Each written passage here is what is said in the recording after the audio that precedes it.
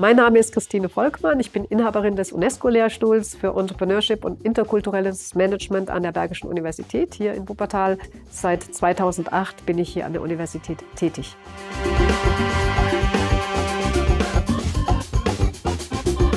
Wir beschäftigen uns mit Unternehmertum, mit Innovation und Startups. Das heißt, wir untersuchen beispielsweise Wachstumsprozesse von Startups. Wir untersuchen die Frage, wie weit Unternehmen Nachhaltigkeit in die Entscheidungsprozesse ähm, unternehmerischen Entscheidungsprozesse einbeziehen, äh, Fragen der Finanzierung von Startups ähm, und äh, Unternehmen und ähm, ein Fokus, den wir jetzt haben, auch ist das Thema Kreislaufwirtschaft, Circular Valley, was aktuell ja auch in der Region wichtig ist. Das heißt zum Beispiel die Startups, die durch den Akzelerator gehen, wie weit sich die entwickeln. Und ein anderes Thema sind soziale Innovationen. Das heißt, die Frage der Skalierbarkeit von sozialen Innovationen ist ein BMBF gefördertes Forschungsprojekt und Skalierbarkeit äh, bedeutet die Frage des Wachstums. Das heißt hier als Beispiel Muhammad Yunus, der bekannt geworden ist, auch mit dem Friedensnobelpreis ausgezeichnet äh, wurde. Äh, die Frage der Mikrokredite in Bangladesch, die er vergeben hat an Frauengründungen in diesem Kontext und da das heute ein Modell ist in Entwicklungsländern, aber auch in entwickelten Ländern, was eben skaliert, das heißt mit Wachstum versehen wurde.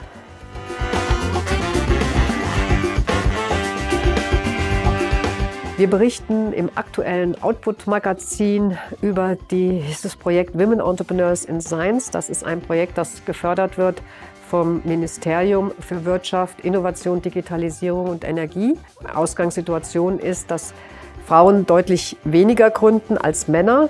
Und äh, statistisch betrachtet, nach dem Startup-Monitor sind es bundesweit 18 Prozent äh, nach den letzten Aufzeichnungen und äh, in NRW noch deutlich weniger liegt die Quote bei ungefähr 13 Prozent.